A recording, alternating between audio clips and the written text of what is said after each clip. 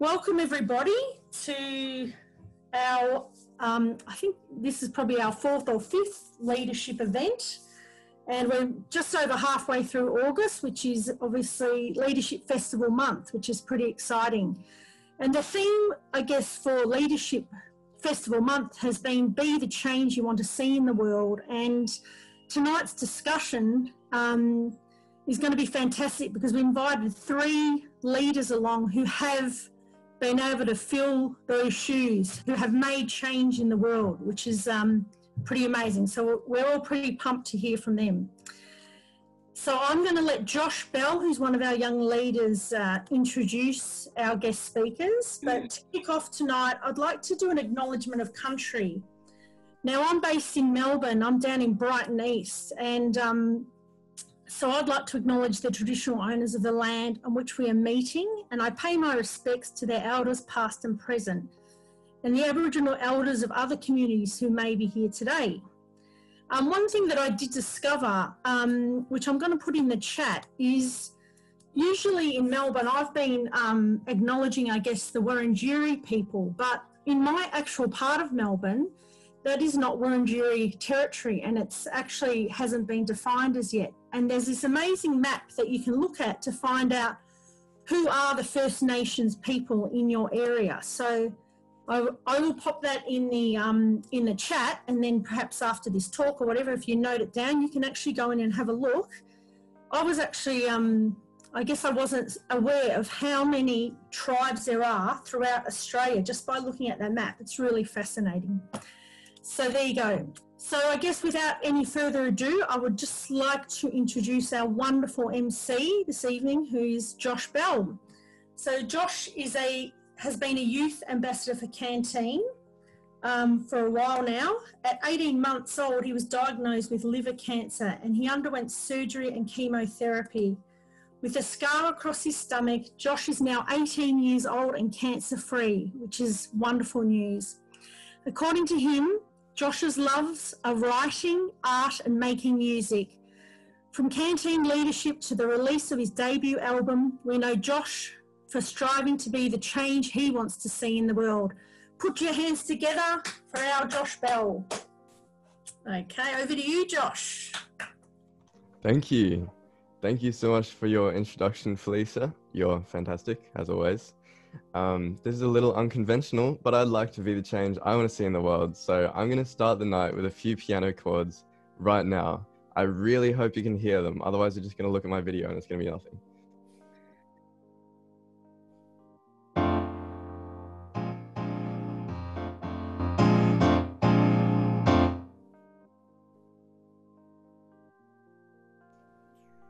Okay, after that massive performance, uh, and with that, Yay! Thank you. Thank you to everyone in attendance for taking the time out of your Tuesday night to be here. And extra special thanks, of course, to our truly awe-inspiring guest speakers who I'll be introducing shortly. I'm extraordinarily excited to have this beautiful combination of people with us tonight. Um, personally, my passion lies wherever I can make a positive change in the world, sometimes I express that through the music I make, but equally it's panels like these which really, truly warm my heart. So thank you everyone. Um, now that everyone knows who I am, I'm very happy to introduce you all to all our three incredible panelists. Heads up, it's going to be a lot of me speaking, so just be prepared. Um, first off, I'd like to introduce you to Ngaiire. Ngaiire is a shining example of a woman who has channeled the hardships she has endured into making positive change in the world. She was born in Papua New Guinea and spent her first few years in New Zealand. She moved to Australia and became renowned for her beautiful voice, thoughtful costuming, and powerful pop sounds. Ngaiire has acquired countless accolades, including four National Live Music Awards, an FBI Radio SMAC Award for Best Live Act, and the inaugural Australian Women Music Award for Artistic Excellence. A breathtaking performer, Ngaiire has graced the world's most renowned stages, from Splendor in the Glass, gl- Grass all the way to Glastonbury. In the company of greatness, she has toured alongside the likes of Alicia Keys and Leon Bridges. She has also composed for dance companies and has showcased her work at experimental art spaces. Thank you so much for sharing your time with us today, Ngaiire. now I'd like to show off my uh, gender non-conforming nail polish as I introduce uh, Nevo by using their unique voice to highlight often neglected issues in Australian society, society facing public backlash along the way. Nevo has lived their life in scope of the change they want to see in the world. Nevo is a queer, non-binary and Jewish writer, performer, activist and public speaker based in Melbourne.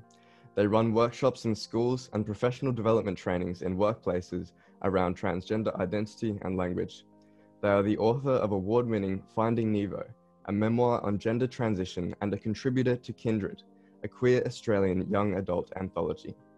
They are a mentor for the Pinnacle Foundation, one of Out for Australia's 30 Under 30 and a member of the Gender Euphoria cast, Australia's largest all trans and gender diverse show on a main stage.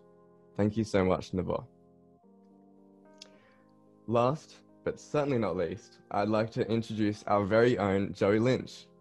Um, his work towards ensuring young Australians have access to the support they desperately need is what makes him an inspiring agent of change. Love the hand sign. Uh, Joey was diagnosed with Hodgkin's lymphoma in September 2008 and joined Canteen in 2010 when he needed support after his first stem cell transplant. Since joining, he has developed skills as both a leader and a mentor. He has served in almost every leadership position available throughout his time in Canteen. He has worked in Victoria as a program leader, peer mentor, deputy chair, and chair on a national level as a member of the Member Advisory Council prior to joining the Canteen Board of Directors. Thank you so much to our three amazing panelists. Now that I'm done telling you your own stories, uh, can each of you wonderful panelists please tell us a little about yourselves and what change you've made in the world. Um, could we please start with Ngaiire? Pardon me. Um, thank you so much for that wonderful introduction. Um, hi, everybody. Um, my name is Ngaiire. I um, am a Papua New Guinean woman. I've be, been living in Australia since the year 2000. Um, I was living in Sydney for probably about 10 years, and now I live on the beautiful Darkinjung land up on the central coast in New South Wales. I um, I was born in PNG in a little town called Lae. When I was about nine months, um, my parents moved us to New Zealand because um, my dad got a scholarship to study um, cartography, which is study of maps. And um, somehow it worked out that we were in the right place at the right time when I got diagnosed with um, cancer of the adrenal gland. Um, and I was about three at the time when I got diagnosed. They, the doctors had told my mum that I had worms. So I was on like a steady dose of deworming tablets for a while, three years of age. And then finally, we found the right doctor who told us that I had ganglioneuroblastoma, which, like I said, is cancer of the adrenal gland. And so I underwent their um, treatment for about three years. Um, I did radiotherapy, chemotherapy, um, and then it was obviously a success. So we moved back to PNG and I lived there till the year 2000 and then we moved to Australia at that point. Um, I studied jazz uh, for a few years up in Mackay, central Queensland. Um, got tired of my degree, and so I moved to Sydney to pursue um, probably a more realistic experience of what a performer and a musician um, is and can be. And ended up working with a whole bunch of really amazing um, artists like Paul Mac, um, Blue King Brown. Um, got to tour as the introduction we did a lot of incredible festivals. Um, and I've been doing music for about 15 years now. And don't know what else to say. I um I have a son. He's two years old. Um, his father's um, Jewish, so we call him a little Papa New, Papa New Guinean. Um, and um, and yeah, I'm still making music, and I'm I'm I'm really excited. I mean, it's a really challenging time right now making music in the pandemic, but I'm noticing how creative people are becoming um, during this time, and that excites me as well. So that's me. Thank you so much for sharing your story. Um, I was also diagnosed with a blastoma, so I really resonate with your story. I really appreciate it. Um, now, I'd like to ask you, Nevo, can you please tell us about your story and the change you have made in the world? Sure, yeah. So thank you so much for having me. Um, and I'd really like to take a moment to pay respect to elders past, present, and emerging on the land on which I stand, which is Wurundjeri land uh, of the people of the Kulin Nations, and that this land is stolen. Uh, it was, is, and will always be Aboriginal land. Uh, and I want to really hold that in my heart as I am storytelling, because storytelling has been on this land for tens of thousands of years and part of oral history and cultural exchange. And I'm incredibly privileged to be standing here and to be telling these stories. And I want to highlight as well that there is no change that is more important on this land than the sovereignty of Aboriginal people. Um, and that if First Nations justice isn't really front and center in everything that we do, then we're probably not change making in the right ways. Um, so I guess for me, I I think it's kind of a hard question, right? Of like, what change have you made in the world? Because it's like, I don't know. Like, you, you tell me. Um, and I think maybe other people on the panel can resonate with this as well. But there's something about being a marginalized person that puts you in a position whereby you have to be a change maker, that you have to be an activist, and it's not necessarily by choice. I didn't necessarily choose to have a body that is political. Uh, I just happen to live in a world that politicizes difference. And so I've had to make change because it's been very clear to me that the world that I exist in doesn't have space for me or isn't crafted around difference or diversity. So it's less it's it's less of a conscious choice i think. And it, it is obviously something that i choose to engage in every day but i really look forward to a world where people can choose to be change makers and that it's not something they are sort of born into or thrust into. Uh, but for me i was assigned female at birth um, which is really important language. It's good to pick up on that and not use language like born a girl or born a boy and became something else. Um, I wasn't born in the wrong body. I was born in my body. There were just a heap of expectations that were put onto that body that weren't really appropriate. Um, I could talk about that for a really long time, but I basically came out a million times. I like to come out every couple of years just to keep people on their toes, you know, keep things spicy and interesting. Uh, so yeah, I, I came out as a lesbian in high school. I was the only person that was really out in my small Jewish community in high school that I knew of. Um, and then I decided in year 12, amongst the anxiety and depression, that it was a really good time to start questioning my gender. Highly recommend it. Uh, so that was a pretty complicated time. And I think that high school is a pretty difficult experience, regardless of what struggle you may be having. Like, I think the most popular mainstream kids struggle in high school. So uh, when you're experiencing a very different lens, it's a lot. Um, and I came out as trans and I began my transition at 17, my social transition. And at 18, I went on testosterone. And it was kind of through this process of transition and learning more about gender and the social constructions and expectations that we put on ourselves and other people that I came to realize that I was non binary and that maybe really radically, I just want to be treated like a person and gotten to know as an individual without this set of expectations of hobbies or colors I might like or outfits I might wear. Like I dress um, pretty much based on the weather and comfort levels and um, what is appropriate for the, the thing that I'm going to that day, not what is the uniform that has been laid out for me by genitals or by society's expectations. It's just I'm going to wear what's comfortable and appropriate.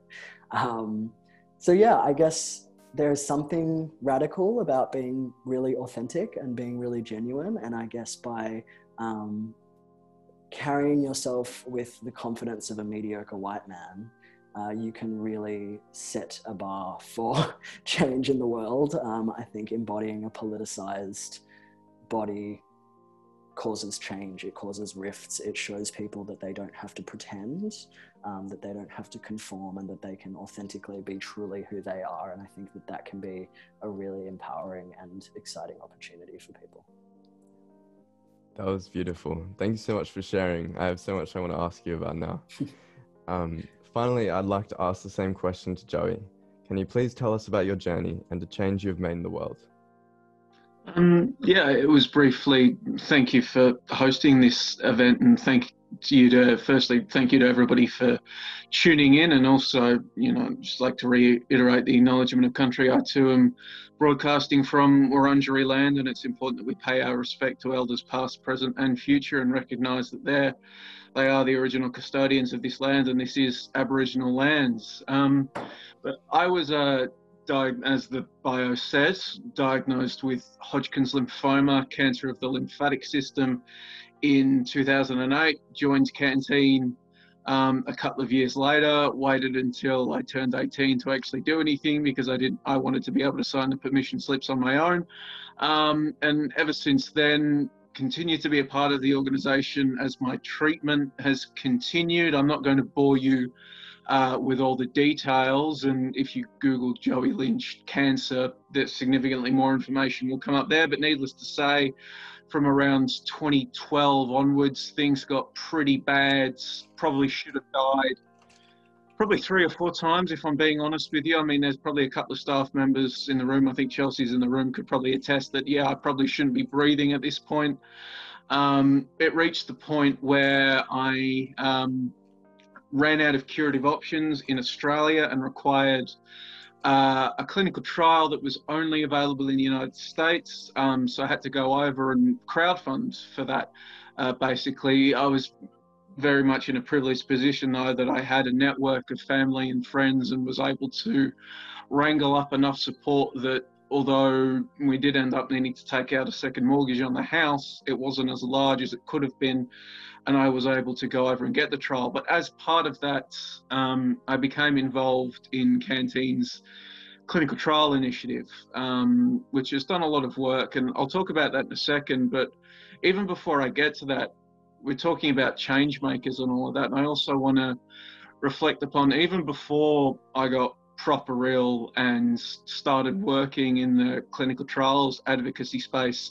I think I already was a change maker in the world in the sense that I was doing all of this leadership stuff in canteen and I'm not even going to pretend that that was a completely selfless thing on my part. I, the empowerment that I received from doing that, the the the worth that I took from that at a time where I didn't wasn't recording a lot of wins was something that was very important to me, particularly as somebody that dealt with a number of mental health issues, social anxiety, depression, dropping out of high school even before my cancer diagnosis. But at the same time, everything that I did in that leadership space, as much as it was supporting me, it was also enabling me to be a change maker because of the fantastic way in which Canteen is organized. Every decision Canteen makes at some point um, every decision that will affect the organisation of Canteen at some point involves the perspective of young people. The actions that we take are guided by our mission to be there in the corner of every young person living with cancer. Our empowerment of young people raises their voices. So every time I was doing something on a local level or an advisory level, I was changing Canteen. I was changing the world because every piece of input, every piece of leadership I was doing in Canteen was helping us better reflect our purpose, our mission, which was in turn improving the lives of other young people um, living with cancer. So I was already a change maker then, just like every young person in Canteen, that they don't even have to be an official leader every young person in, in canteen that puts their hands up and asks a question about can we do this? Is it can you know i think this they immediately become a change maker and they immediately begin to make the world better for other young people living with cancer. So, and so I, I think that's very important to emphasize when we're talking about the canteen leadership space that you know we all have different leadership paths we all do different things but each and every single young person in Canteen is a change maker. Um, obviously, I did some other stuff along the way um, because I couldn't access um, a clinical trial in Australia. Um, it's probably not the best thing in the world because, as I said, I was in a very privileged position. There's a lot of young people around the country that wouldn't have been able to marshal support, um, enough support to get over to the United States, which basically would have amounted to a death sentence for them, which isn't fair. Um, so we began, uh, I was very fortunate enough to play, and I'm not even going to front, it was a very small part. We have some fantastic staff and advocates at Canteen that do so much work behind the scenes to. Um, to get in the ears of important people and government to get these things over the line. But I was able to play a part in advocating for clinical trials um, in Australia and the establishment of a fund uh, funding that Canteen was able to administer and start giving out to prospective clinical trials so we could bring those to Australia and we could give young people um, living with cancer access to them. So they didn't have to crowd funds, they didn't have to rely on family and friends you know, giving up their own money because that is one thing I hated every single second of having to ask friends, family, acquaintances, people I'd never met for money. I hated myself every second I was doing it. So we were able to bring trials out to Australia so other young people didn't have to do that. Um, and I think that's you know I think that's done well. Um, we I was like I've been lucky enough since that time to become a consumer advocate on the uh, expert. I put expert uh, expert advisory panel. I put expert in quotation marks because any panel that has me on it can't be an expert panel. But um, we're able to still meet and help administer uh, the funding uh, that goes out for that. So. I think yeah, it's been a hell of a journey, but that's one way that I have been trying to um, exhibit change in the world. And as I said, I'm not even going to pretend that it's been um, completely a one way street. I take enormous value out of being able to do that. Um, and, you know, it gives me an enormous sense of pride to be able to give back and try to improve the world for others. But um, it, and it genuinely does feel good. But yeah, it's it's a worth been a worthwhile experience.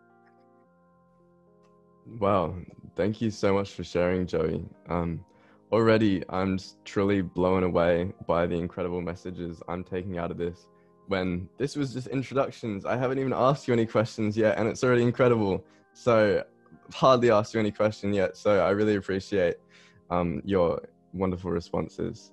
I'd like to move us now away from the introductions, everyone knows each other, um, to I will ask some questions to the panel, which will eventually lead to the audience can ask some questions. So, first, Nevo, um, I know you touched on this question in your introduction, so feel free to be the one to expand on this first. All three of you have created great change in the world.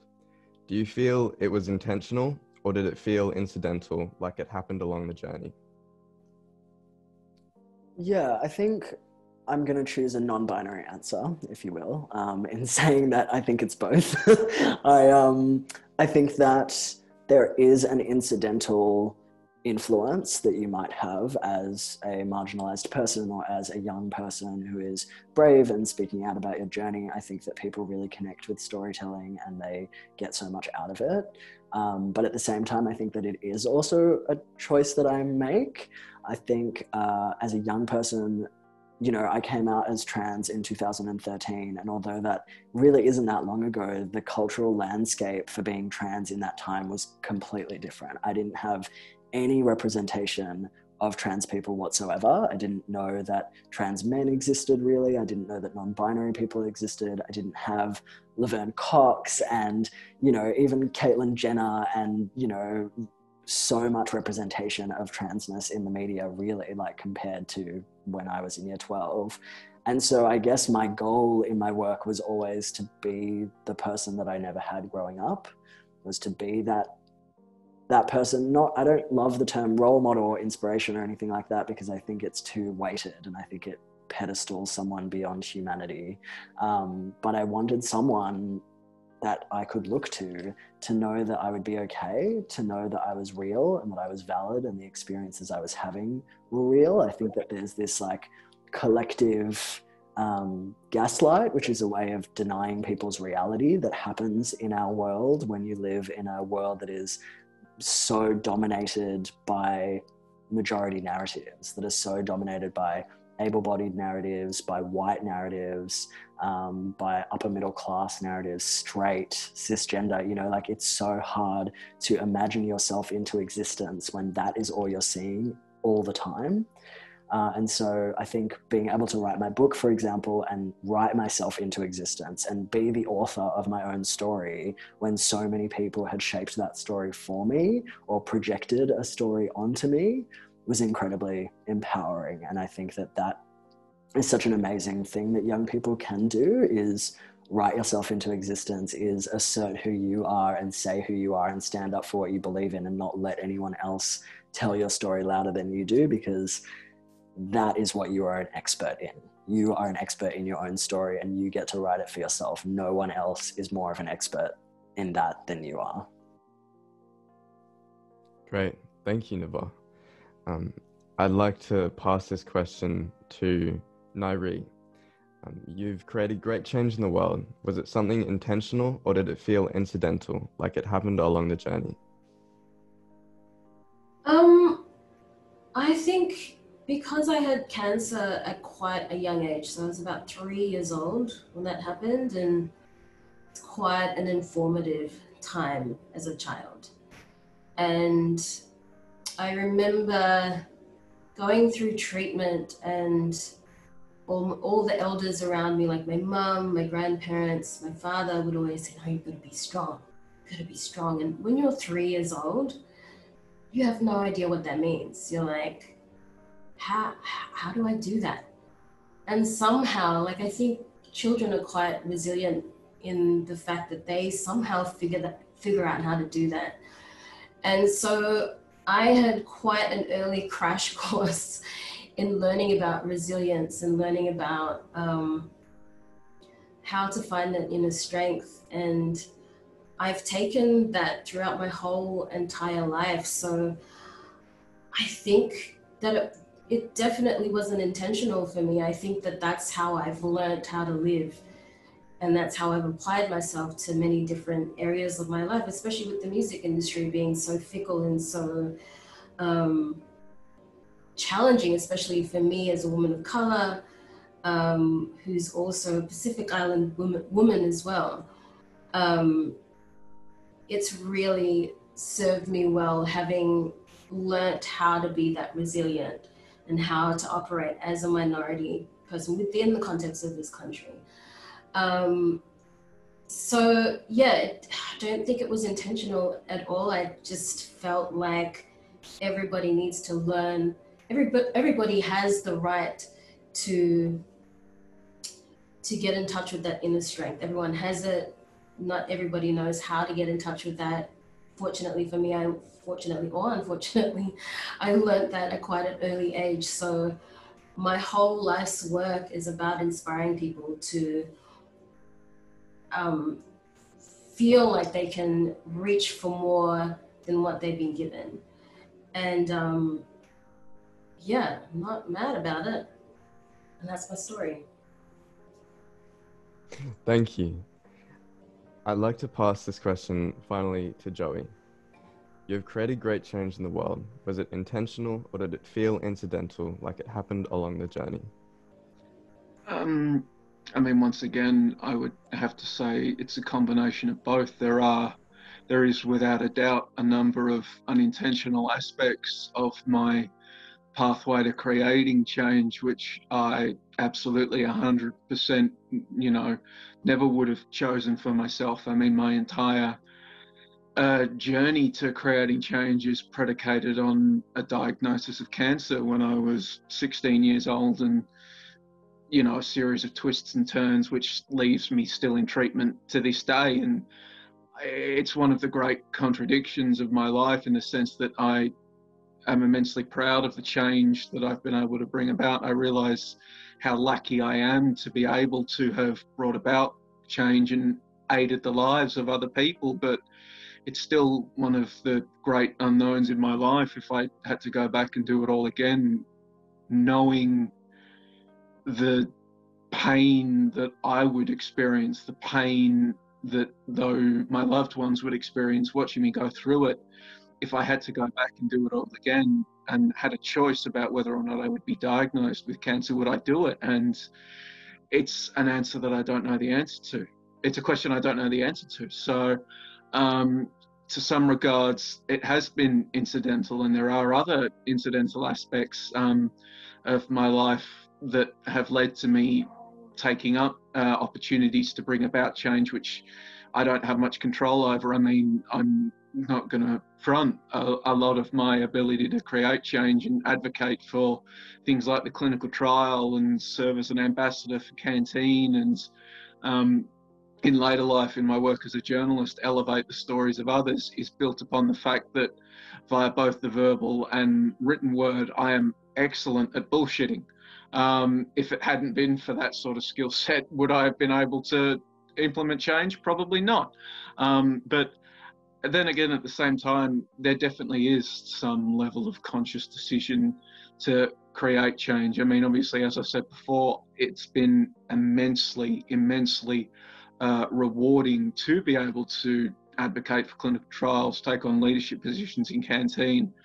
Um, but at the same time, um, it's something I really wanted to do to give back because there was also a sense of obligation there that you know, given how bad things during my cancer period, my major cancer treatment got, the fact, you know, I probably should have died, I have to think that, you know, my the support I received from Canteen, the mental well-being, provided me with a number of tools which helped me internally keep fighting. And there's a great sense of obligation in my minds that comes um, with that. But and so there was some level of deliberate um, embracing of that. But I think it's important to also recognize that um, that was just my particular moves to a cope with um, my cancer diagnosis and b embrace you know my ability to create change that's my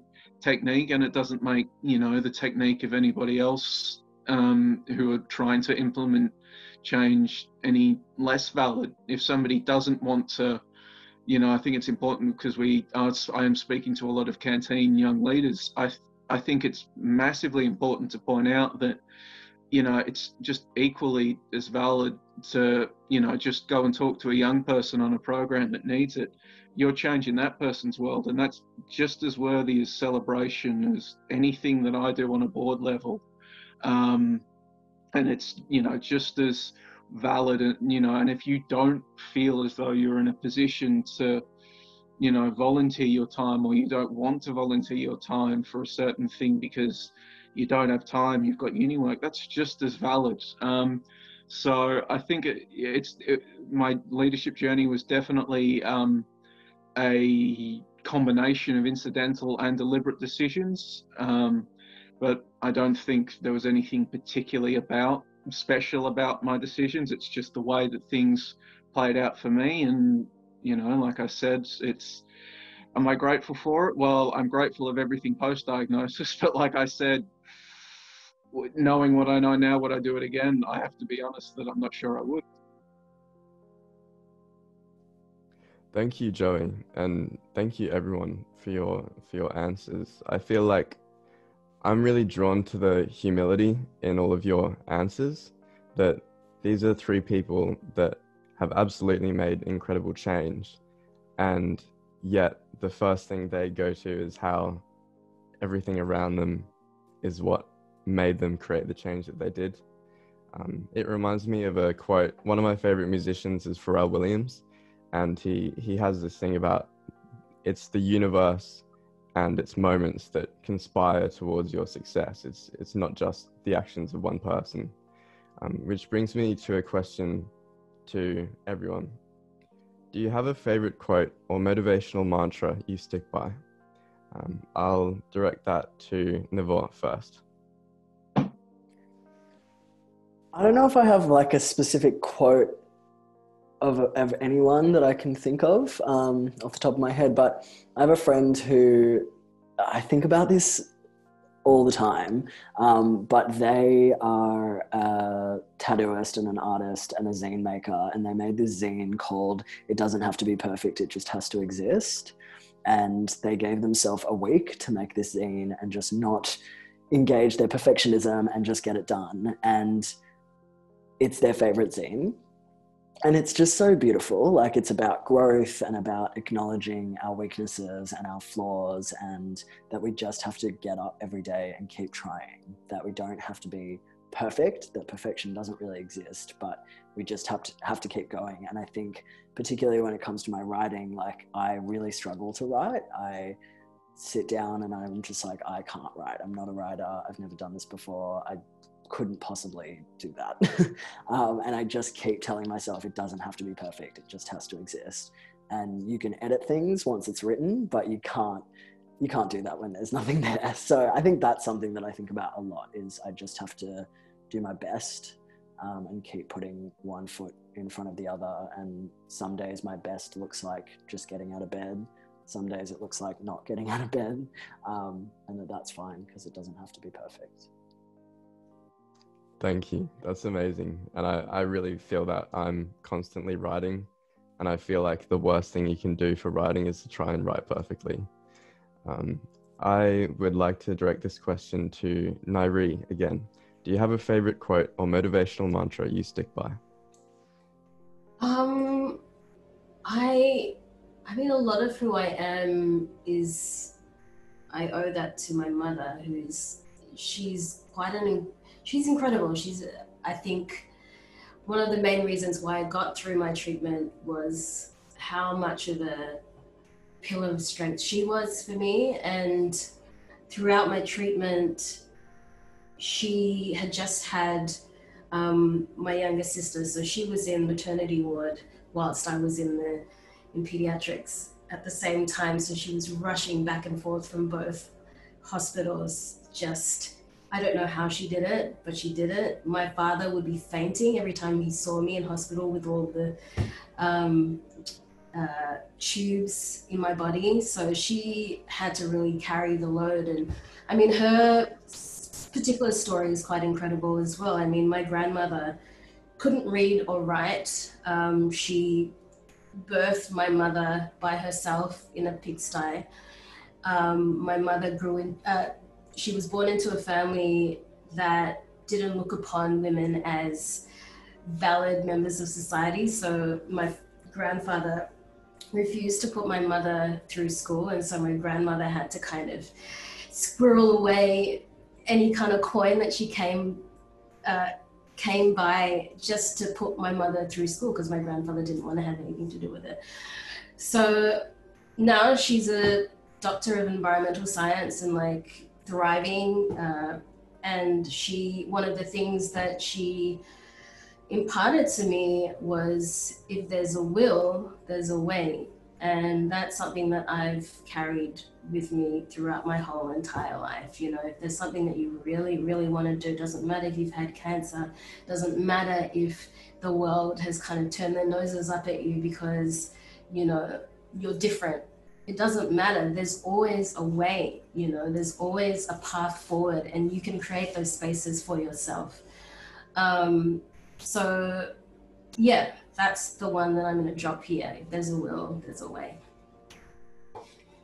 That's amazing. Thank you. And I, I love the the stories that you're giving to like imbue these quotes with such meaning, and they're already such incredible just words to exist as, as statements and affirmations. Finally, I'd like to ask you, Joey, the same question. Do you have a favorite quote or motivational mantra you stick by?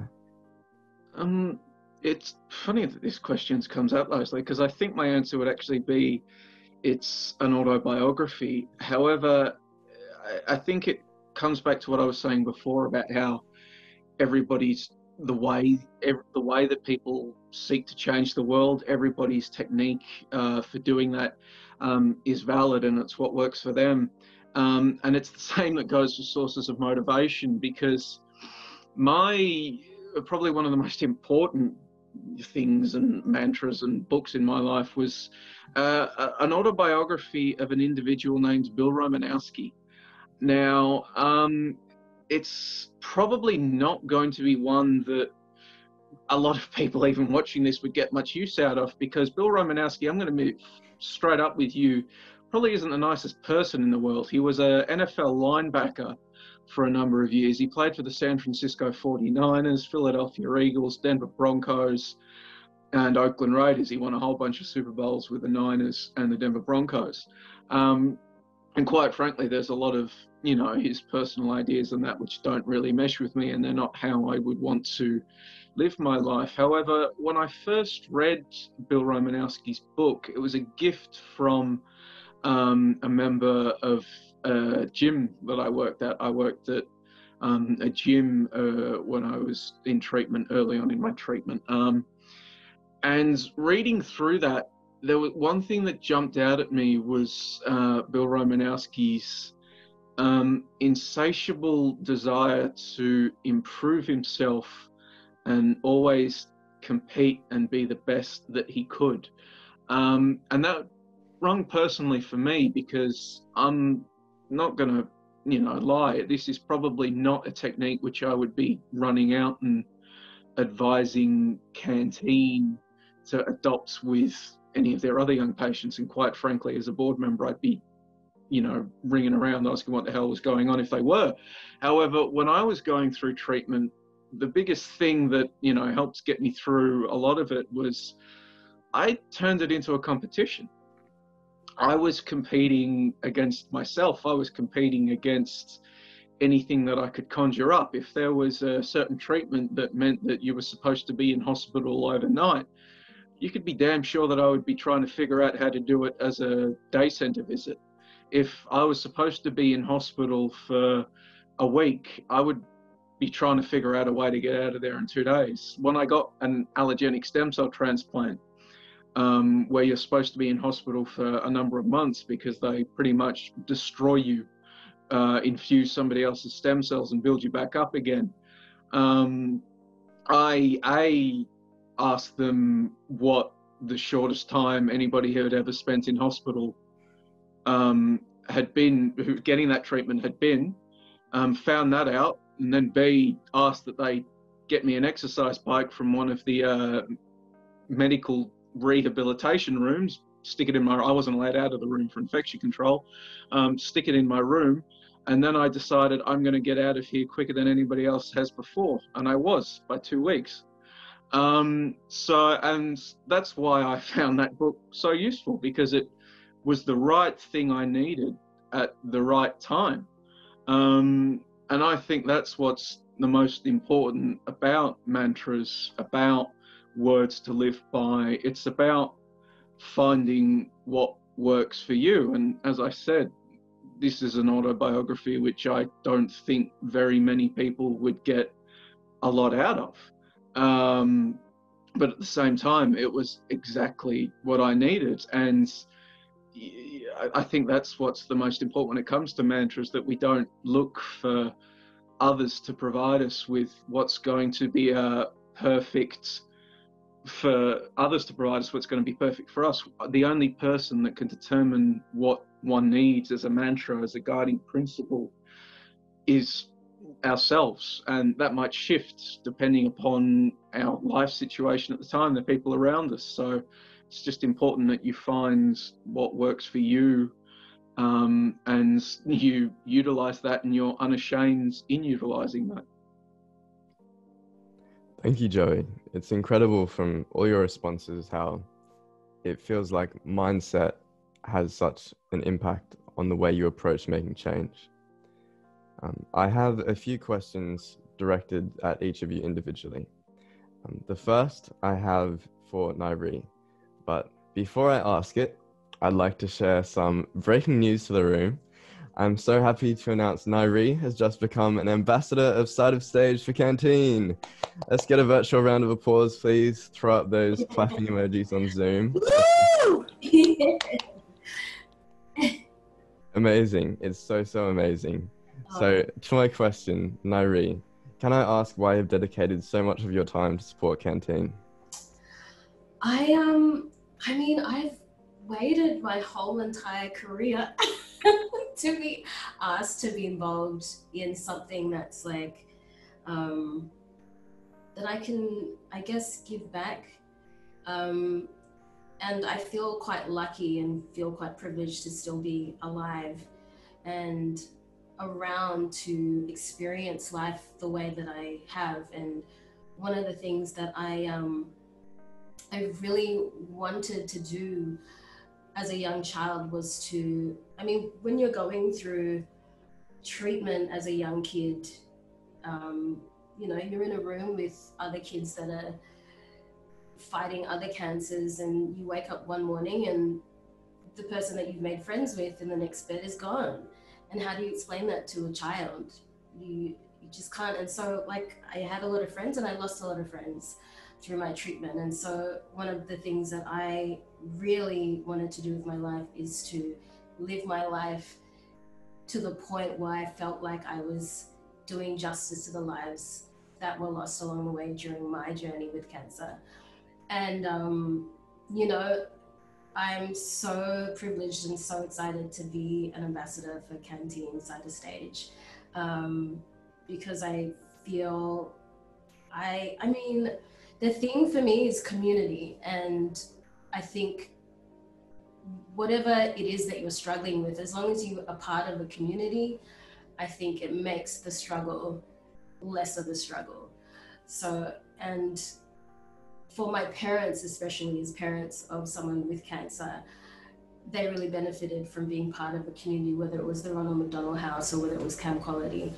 Um, these are the initiatives that really help them along, and I really want to give back um, in that way and be a part of something that can help change the lives of other young people that are um, battling cancer right now, and that's really important for me. Thank you so much, Ngaiire. Um, I actually had a pretty similar experience growing up in a ward um, with hepatoblastoma. So it's really, truly inspirational. And I, I hope to one day make the same sort of impact that you have. Um, I'd like to direct an individual question to Nevo. Um, this is actually a question from one of my best friends who I consulted uh, before coming on. Uh, they are an incredible young writer and they're also currently transitioning. They ask, could you walk me through your experience of becoming an author with a public voice as a young queer person in Australia? Yeah, I mean, I think that for the most part, I have to say my experience in publishing was kind of a, a freak incident. Like, it wasn't how publishing usually goes, I think. And I do think it's very hard to get published in an Australian context as a marginalized person. And I think that there are more and more opportunities coming up now, but it was so wild. I was um, 19 and I was doing public speaking stuff. I've been a professional public speaker pretty much since I was 19, and I was giving a speech with my mum about our journey together through my transition. And there was an author there who was like this story is great. I'm going to tell my publisher. And i was sort of like yeah sure okay and she told her publisher and i didn't hear anything for months and i said i don't think this is going to happen. And then she just said just wait. Publishers are notorious for taking a long time to get back to people. And uh, i got a phone call from this woman who was like do you want to write a book and I just thought, surely this is a prank call. uh, and I met her and I sat down in front of her and I said, Look, I'm telling you right now that I'm an unapologetic, outspoken feminist and I'm not going to dilute my ideology to be more marketable. And she was like, Me too. And we shook hands and yeah, it was just kind of wild. It just happened that way. And I had no idea what I was getting into because also I, I was 19 and I really thought that the book industry would be like Hollywood or something, that they would like try to steal my rights and like steal money from me. And I had nightmares where like there were executives in suits that were telling me that they were going to edit my transness out of the book and that I was protesting and that my book was then made into a film that a cis person was playing me. And so i led protests against my own film. Um, so i was very afraid of what was going to happen. But it turns out that the young adult publishing in australia in particular is like such a firstly female dominated space but just really lovely and wholesome and caring and nurturing. So i highly recommend if you want to write books to go into young adult. I think the adult writing world can be different. Um, but yeah, I was really, I was just super privileged and lucky that that happened. Um, and it just kind of went in this huge whirlwind and snowball effect. But I guess my advice to young writers who want to get published are just write as much as you can um, just get a pile of crappy writing behind you because that's the only way to get to good writing. That I think I again, it's that thing of I'm like, if I can't write something perfect, I shouldn't write anything at all. But actually, creating bad art is the only way to get to good art, and that the people we respect and we admire have so much more terrible art in their backlog than we have anything. And so to really like aim to that and um, let go of the ego a little bit in that process and just uh, remain curious and do lots of lots of reading i think as well. Thank you Nevo. you're such a beacon of light. I feel like i'm smiling every time you talk. Um, my friend will be very happy with your response. Thank you.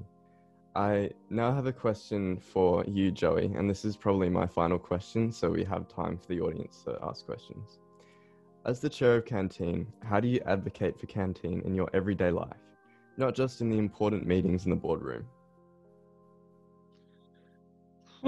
Um, well, I think there's two ways that one can serve as an advocate for Canteen. There's obviously there's the official channels where you are formally representing Canteen at events or in discussions with external stakeholders, which um, you know, it's generally made pretty easy for me. As I said, Canteen has some of the most um, well qualified and passionate people working for them, not just in the country, but in around the world in the AYA cancer space. And, you know, the work that they do organizing me to just, all right, you go to point A, talk, you know, bollocks for five minutes and then leave. That's dead easy for me. That's the easy stuff.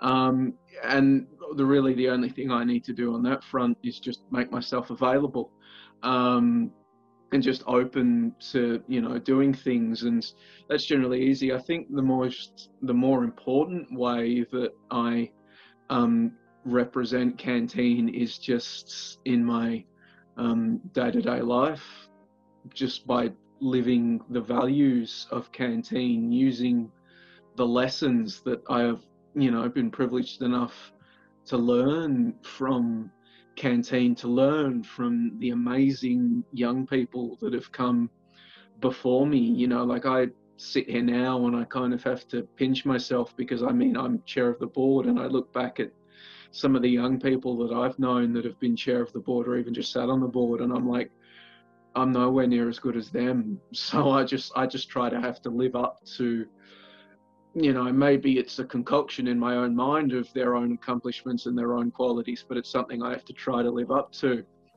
And then at the same time, there's also just living the values of the organization. It's just going out there. I mean, I'm sure every canteen member talks about um, the vibe of the organization. And if you are a canteen member of a certain vintage, you will remember uh, the values that we did once have before they were phased out for being far too long and confusing. But um, it's about just going out there and in your day to day interactions being the type of person that, you know, you want you would want looking out for you if you were first joining the organization and you needed someone to be in your corner it's about going out there and recognizing that everybody is in a unique situation um, and trying to support them. It's about creating spaces where others can use their voice. I mean, I work as a sports journalist, as a soccer writer for um,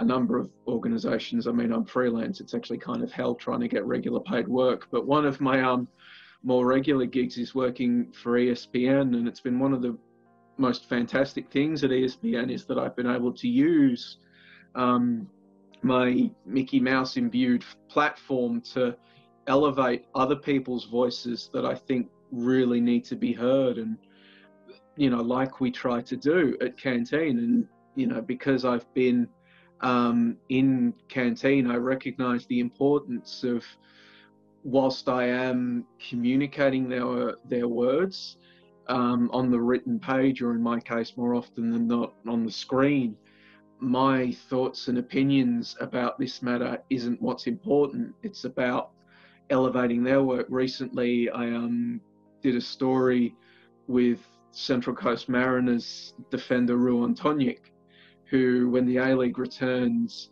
he took a knee um, in solidarity with the Black Lives Matter movement, and I knew that, yeah, it's a, that would have been a great opportunity for me to, you know, rah rah rah, look how socially conscious I am, rah rah rah. But my voice wasn't important in that. It was about Ruon and what Ruon was doing, and that was a lesson that I'd taken from Canteen that um, well, it, I like to think it's something I would have known regardless, but it was really reinforced by Canteen, knowing that you need to create a space for others to use their voices and have their voices heard. Um, so that's how I think, you know, I go out and represent Canteen. It's not just, you know, the boring putting on a suit and shaking hands with some politician that pretends to know your name for five minutes before he forgets it once he's brief once he's briefed on the next issue. It's about going out and living the values of Canteen and representing the organisation in my actions every single day.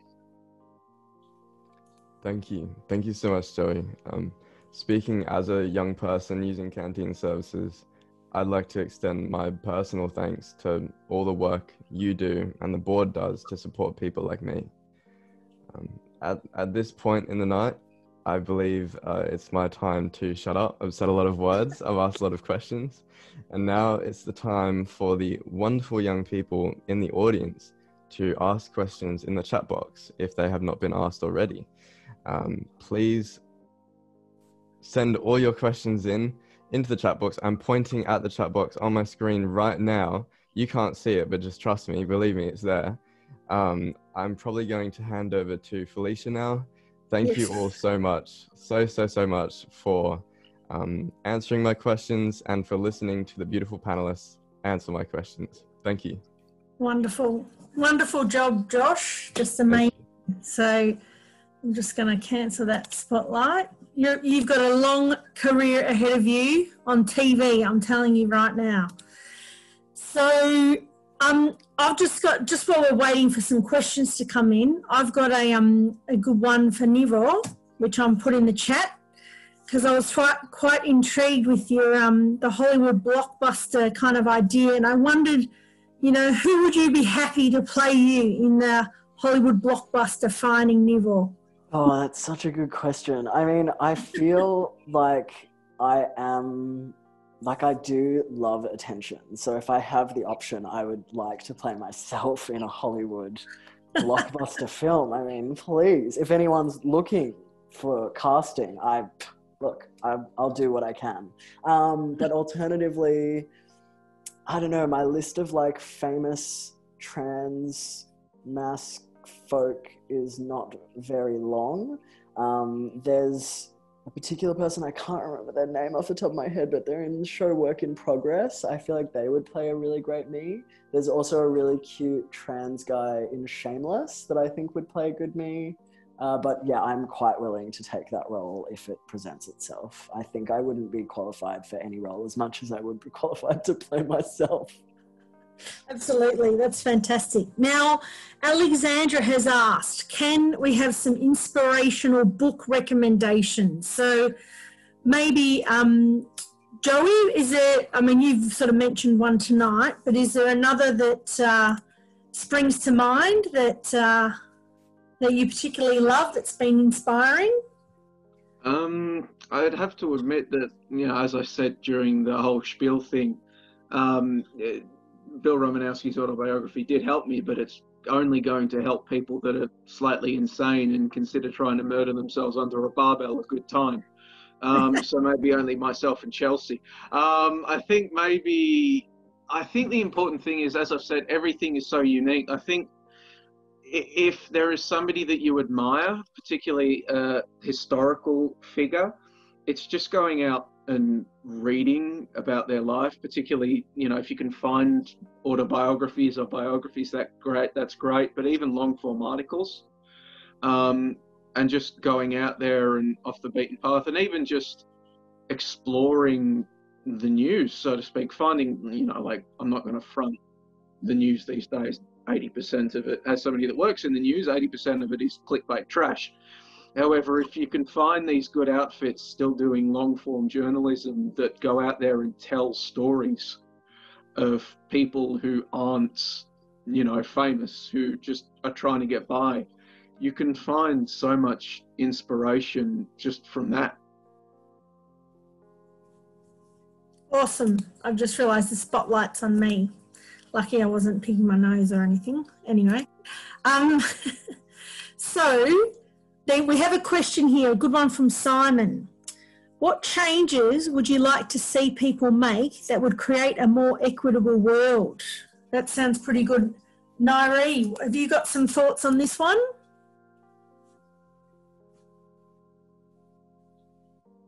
Oh, I think we got you on mute. We're going to unmute you. Unmute. Unmuted. Um, ah, man, I mean, I think there's a lot of reading to be done. There's a lot of, um, I mean, we live in a pretty exciting and overwhelming time at the moment. There's so many resources being posted up on social media about how to learn about, you know, different um, marginalized groups. Um, and I think it's just on everyone to make that time, to prioritize that time, to read up on things, or to even, you know, I think it's okay to ask people, you know, oh, how do you want me to refer to you? Or how, you know, what's acceptable? And to be open to having a dialogue and not being offended when someone pulls you up about things. Um, but yeah, I think I think just taking that time. I mean, I think I feel like everyone in this group is is here for the right reasons and here to create that change. So, and I, I feel like we're all kind of wanting to be in that same page of educating ourselves and and making that time to do that. So I think just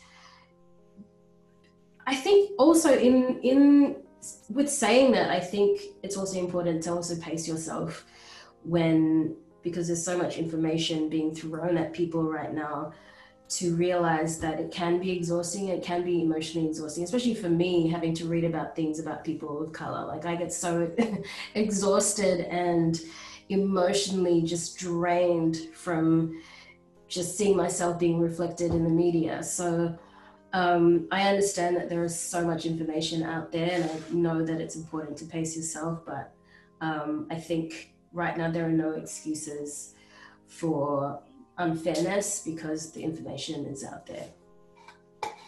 Yeah, absolutely. Fantastic. Okay, so um, we haven't sort of had any more questions, but I guess one one thing that um, I wanted to ask, and I guess especially with COVID nineteen this year, it's been a really tough year, and I just wondered, I mean, along your journeys, all three of you, um, there have been really tough times. And I just wondered if you had some advice for our young people. You know, when, when times get really tough and you're feeling depressed or a bit down or anxious, you know, what do you guys do to sort of pick yourselves up and get back to, you know, the main game? yeah, um, I guess I can I can jump in there. Yeah, um, go for it.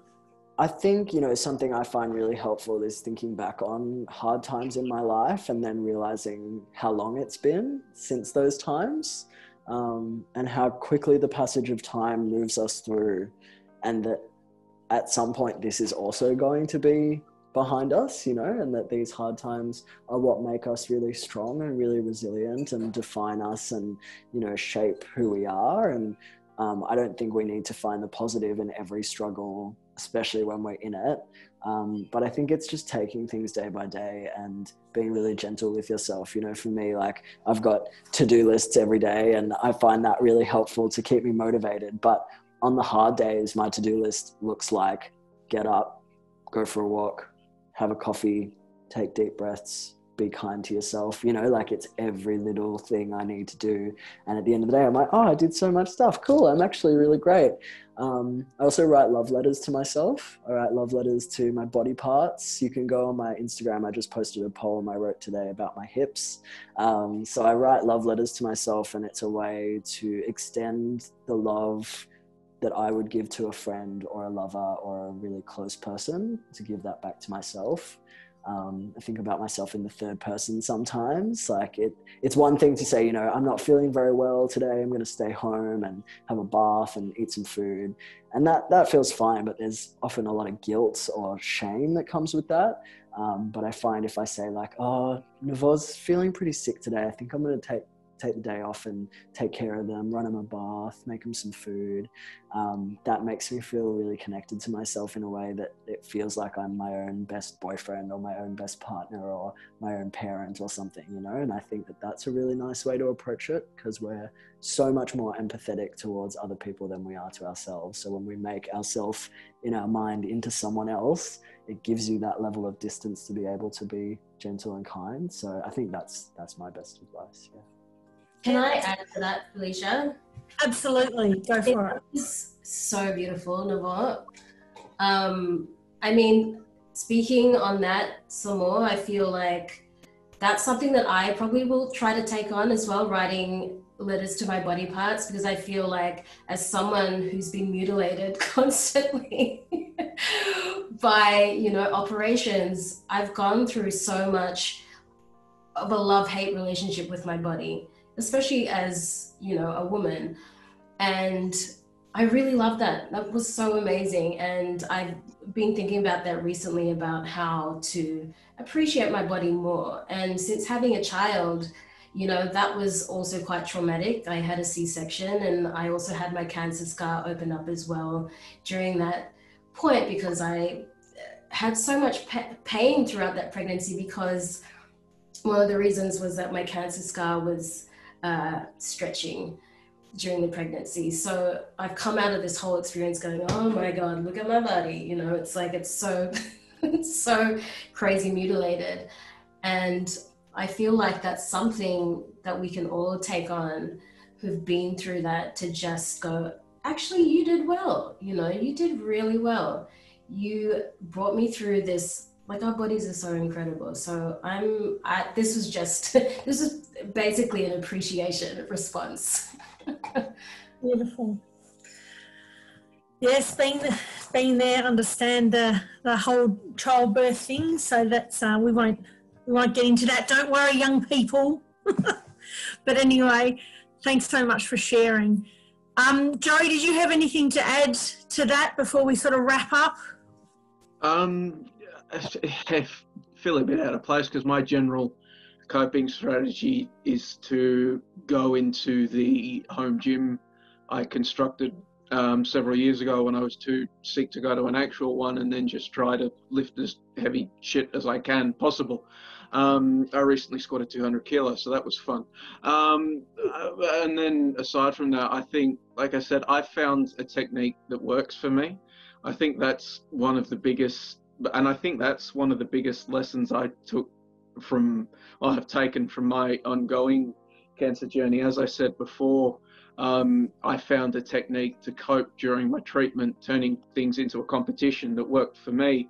Um, but at the same time, I ne- would never expect anybody else to replicate that if it didn't work for them. I insisted with myself throughout my time at canteen, interacting with other young people, that I would never judge people if they didn't cope the way that I did, and I wouldn't um, think, you know, that my technique for coping was better than anybody else's.